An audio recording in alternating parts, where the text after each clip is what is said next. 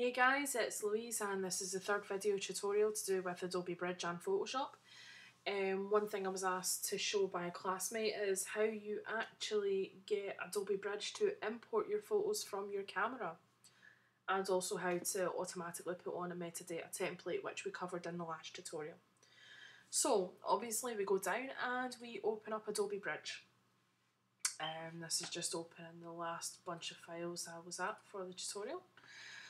So what we can do is with either your SD card inserted to the computer or your camera hooked up through its USB cable, we go here to the file menu in Bridge and just simply get photos from camera. It comes up, it automatically should find your camera from this drop down menu, so mine is the Nikon D90. It tells you how many files there are there in total, this is just a couple that were rattled off today on a coach trip. It gives you the shot date. Down here we have the import settings. This is something you should pay attention to because if you don't, you're not going to know where your pictures are. So you can tell it where to save to. So you just hit choose or else it will dump it into a random folder. And you just go through to your main image folder. And if need be, make a new folder everything for tutorials is called random. You just select it, hit choose, and it is now putting your images into this folder. As you can see here, it's got subfolder. This is another little option here.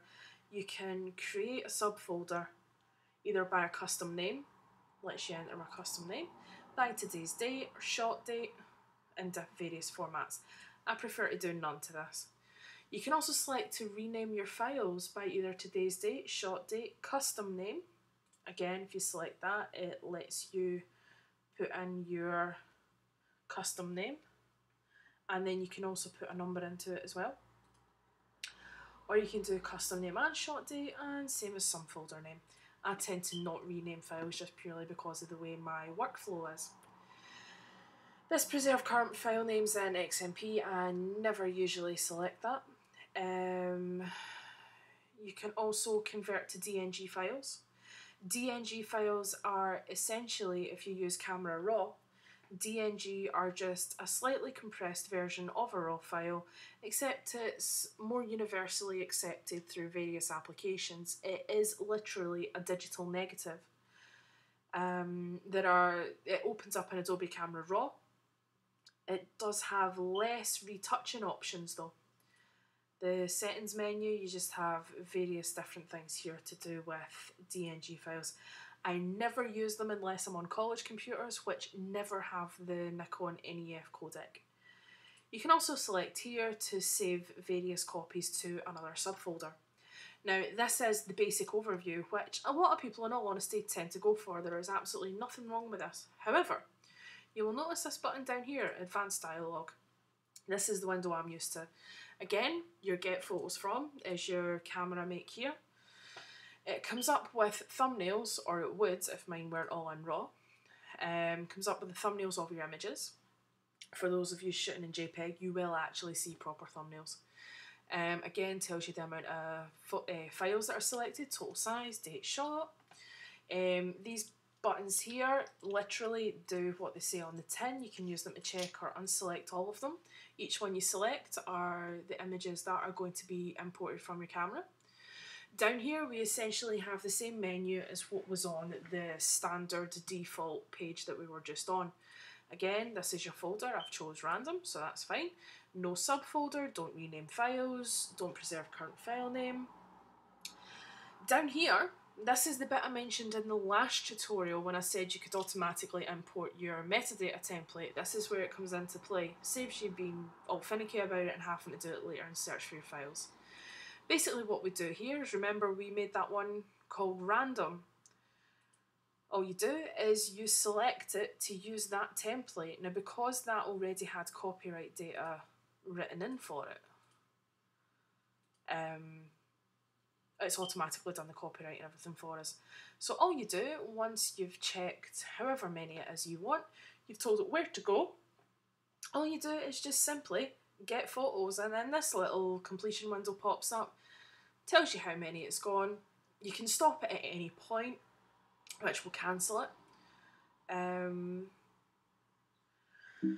and once the files are imported, it will automatically open them up into Adobe Bridge, which is what we told it to do. And if you right click and go to File Info, you will see, or should have seen, that the metadata was there. I must have unchecked it by accident.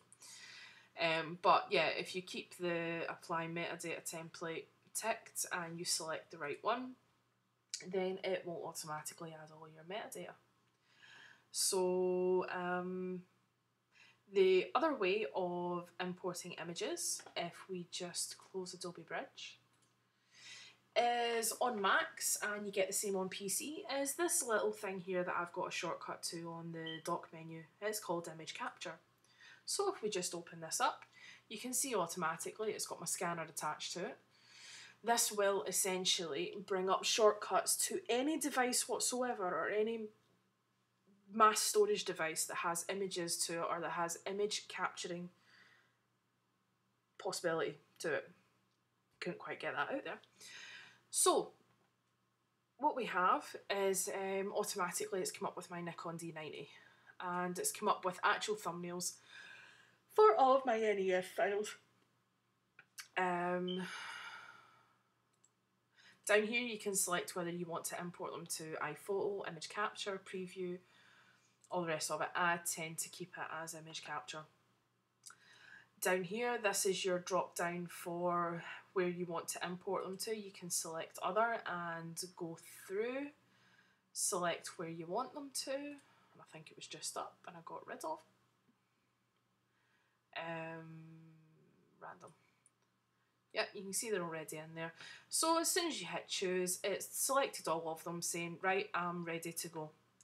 Down here you can also change the view you've got, so you can actually see aperture, depth, file size, date, file name, width and height dimensions for pixels, focal length, shutter speeds.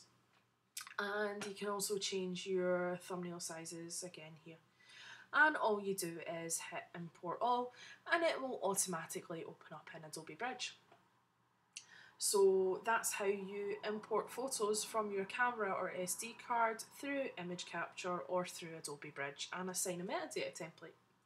So hope that was helpful. I'll speak to you later.